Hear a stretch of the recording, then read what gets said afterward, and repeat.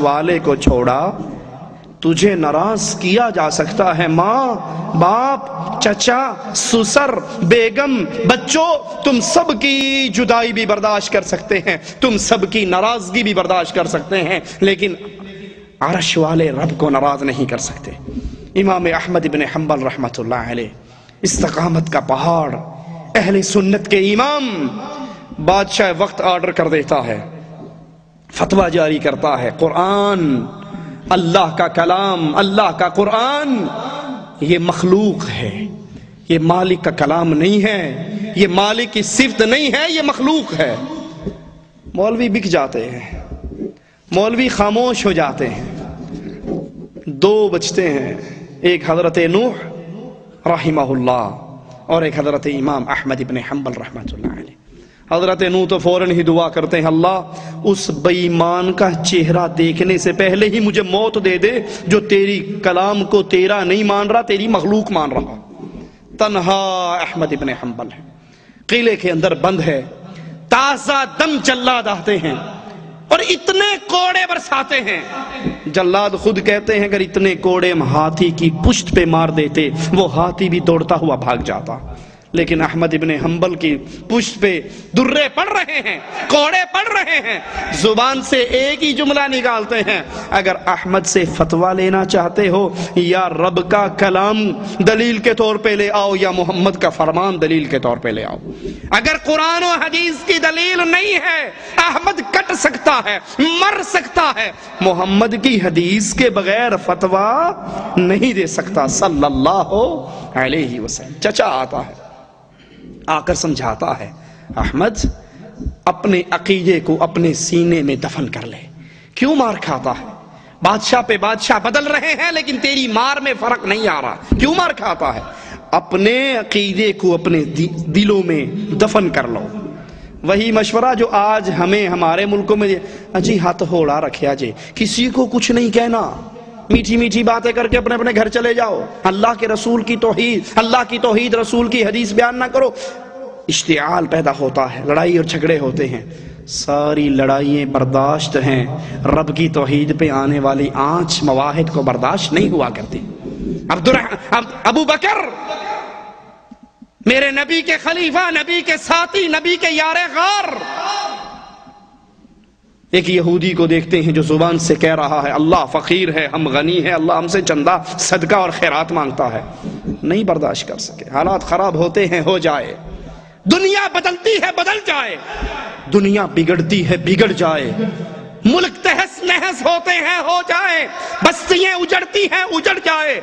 हर तरह का खसारा बर्दाश्त हो सकता है। ला इलाहा पर आने वाली आँच बर्दाश्त नहीं हो सकती।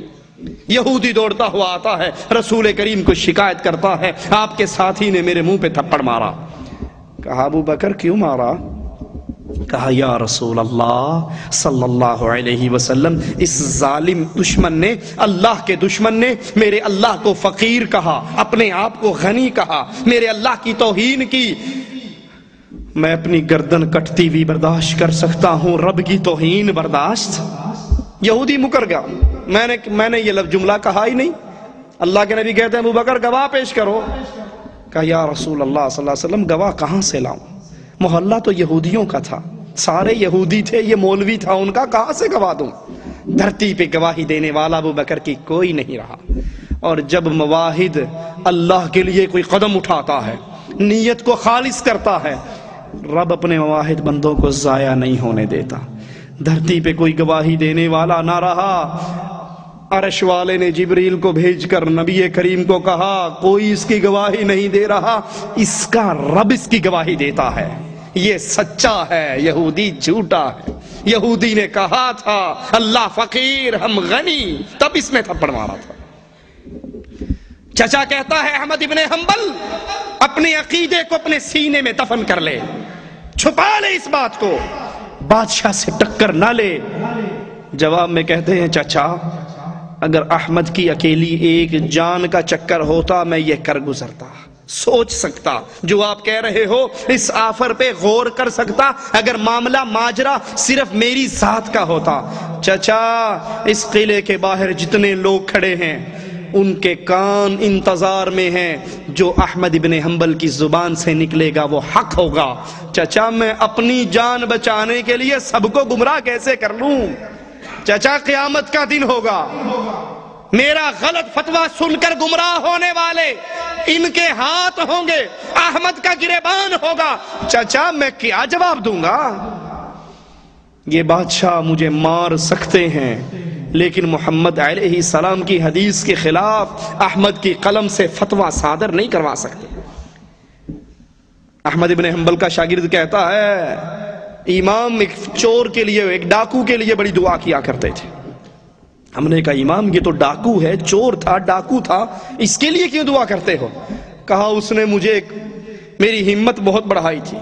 जब मुझे मारा जा रहा था, वो चोर, वो डाकू गुजर रहा, काजी के पास ले जाया जा रहा उसकी बाज हाथ कटे हुए। कहने लगा, अहमद इबन हम्बल तू रब के लिए मार खा रहा है, मैं अपनी अना के लिए मार खा रहा मैंने चोरी की, मेरा हाथ काट दिया मैंने कहा बाज नहीं आऊँगा जो मर्ज़ी कर लो। उन्होंने दूसरा काट दिया। मैंने कहा, जो मर्ज़ी कर लो बाज नहीं आऊँगा। हाथ कटे हुए हैं, चोरी से बाज नहीं आया हूँ। मैं अपनी अना के लिए मार खा रहा हूँ। अहमद, तू अर्श वाले के लिए मार खा रहा है। कहीं अल्लाह के दीन पे आँच ना ले आना। कट जाना, मर जाना। लेकिन मोहम्मद की हदीस के खिलाफ फतवा ना देना। इमाम मालिक रहमत बादशाह फतवा देता है।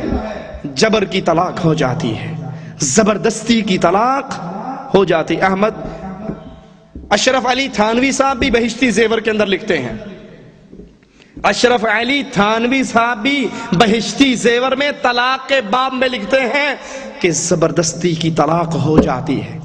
और ये रास्ता साफ़ होता है वडेरों के लिए, बड़ों के लिए, चौधरियों के लिए, माल, दौलत, ताकत वालों के लिए। कैसे? एक गरीब आदमी की बीवी, खूबसूरत किसी वडेरे की नज़र पड़ जाए। अब वो चाकू उसकी गर्दन पे रखे, कलाशन को उसकी गर्दन पे रखे, कहे, दे तलाक, नहीं तो मार दूँगा। अब वो जान बचाने के लिए कह दे, मेरी बीवी को तलाक है। मोहम्मद सल्लल्लाहु अलैहि वसल्लम फरमाते हैं, जबर की तलाक नहीं होती। लेकिन वडेरों की खिदमत करने वाले मौलवी, बादशाहों के लिए तरतीब देने वाले फिका बादशाहों की तलब पे इकट्ठे होने वाले मुल्ला, वो फ़ौरन कहते नहीं जी, हो जाती है। ये भाभी नहीं मानते लेकिन हो जाती है। आखिर साडे मौलवी को भी कोई ना कोई दलील तो होनी।